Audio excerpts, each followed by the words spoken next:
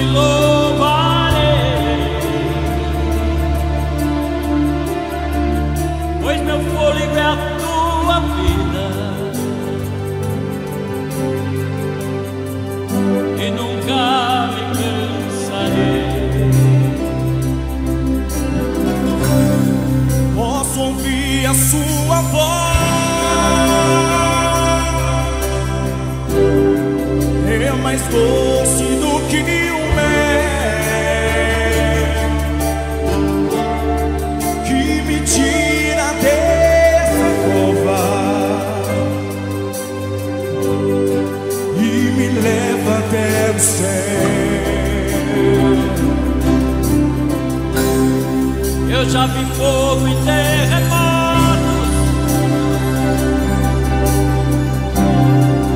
Vento forte que passou Já passou. Já vivi tantos perigos Mas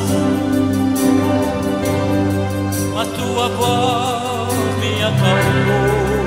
Agora a que nós Israel.